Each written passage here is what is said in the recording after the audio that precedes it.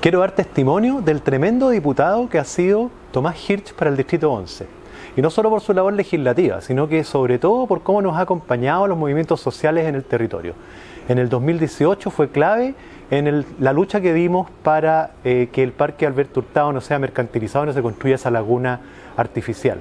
En el 2019 nos apoyó para evitar que la aldea del encuentro se convierta en un centro de eventos de carácter Ticketmaster. En el 2020 nos estuvo apoyando a conformar un comité por la salud pública y también nos estuvo apoyando en la recuperación eh, del terreno del ejército, particularmente evitando que eh, salga la licitación que lo quería vender.